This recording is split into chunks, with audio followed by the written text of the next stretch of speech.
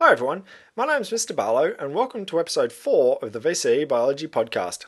In this episode, I'll mainly be talking about cell membranes and the way that molecules move across cell membranes.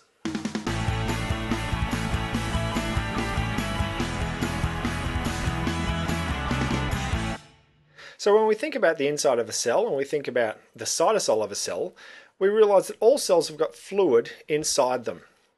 And the fluid inside a cell is called the intracellular fluid. But cells have often got fluid outside of them too. And uh, so if, if cells are surrounded by a fluid, that's called the extracellular fluid.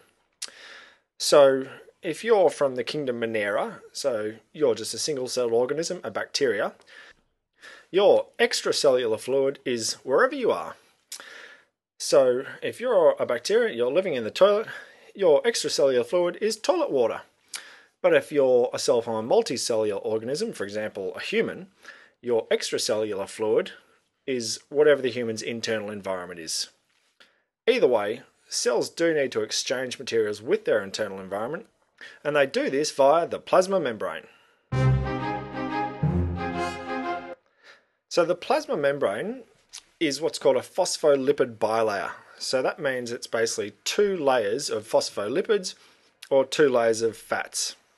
So phospholipids have two ends. They have a hydrophilic or water loving end or, or water loving head, and they've got a hydrophobic or water hating end, and that's the tail.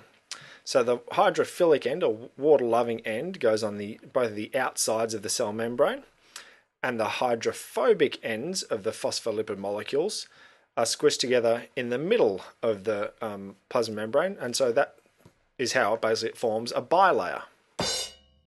So the basic structure of the plasma membrane is a phospholipid bilayer, but plasma membranes also got um, proteins embedded in it, and they provide channels for the movement of certain molecules through the membrane. Uh, they've also got cholesterol uh, embedded in them, that's kind of for structural stability. Uh, and they've also got carbohydrate chains which um, protrude from the cell membrane, uh, and they're used in cell recognition. Uh, so that's you know the structure of the cell membrane. So one of the functions of the plasma membrane is to enable the cell to exchange material with its environment. And this also helps to explain why cells are so very, very small. So cells are small because basically smaller things have a higher surface area to volume ratio. So a higher surface area to volume ratio means that there's more surface in contact with the environment and therefore the cell is able to exchange more materials more quickly. So basically small things have a very high surface area to volume ratio and big things have a very low surface area to volume ratio. So that's great for bacteria and single-celled organisms because they're very small, so they've got a high surface area to volume ratio, so they can exchange material with their environment. But what about really big multicellular organisms? Well, these organisms have often adapted a larger surface area organ to help them exchange material with their environment. So, for example, humans, we've got lungs, and lungs have got an enormous surface area to volume ratio. If you spread our lungs out, they cover, you know, two tennis courts worth of stuff. Um, plants have uh, evolved to have these structures called leaves. And leaves, again, have a really high surface area to volume ratio. And that, again, enables them to exchange materials with their environment. So it's important that uh, organisms can exchange materials with their environment. And to do it, they generally need to have a high surface area to volume ratio. Now, quite a number of different molecules go in or out of cells via the plasma membrane, and they all do it by different methods. So there's lipid soluble substances, and they can easily dissolve through the membrane. So remember that membranes are made of phospholipids or fats, and so that's why lipid soluble substances can just quickly or easily diffuse through it. There's also small molecules like water, um, they can easily pass through.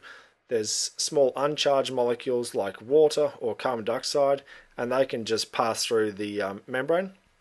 But there's also larger water soluble substances like sugar, well, glucose, and uh, amino acids, and they basically need to pass through protein channels or protein gates, which reside in the plasma membrane. So there's several ways that things can pass through the plasma membrane. The first one is diffusion. So, for example, if I had a really salty solution on one side of a, a, partially permeable membrane and a less salty solution on the other side of the membrane, what would happen is the salt from the high concentration area would diffuse through the membrane to the low concentration area until the concentrations were pretty much equal on either side of the membrane. So we would say that the salt particles have diffused across the membrane. Now, diffusion can happen faster in a process called facilitated diffusion. So what happens with facilitated diffusion is that there are these protein channels embedded in the membrane, and those protein channels assist um, the dissolved materials to diffuse across uh, the plasma membrane. So they basically make diffusion happen significantly faster. So it, it's still called facilitated diffusion because the particles still diffuse from an area of high concentration to an area of low concentration. So in fact, they go down the concentration gradient. Um, but it's facilitated because the particles travel through these protein channels. So another way that something moves across the cell, or in this case water, is osmosis. So osmosis is kind of the same as diffusion, but instead of the things that are dissolved in the water moving across the membrane, the water moves across the membrane. So let's say, for example, we had a solution on one side of a membrane which had a really high concentration of glucose molecules, and a solution on the other side of the membrane which had a really low concentration of glucose molecules, um, but the membrane was only partially permeable, so the glucose mo molecules couldn't actually cross the membrane. What would happen is the water would go from the, the low concentration area to the high concentration area to make the concentration of dissolved substances equal out.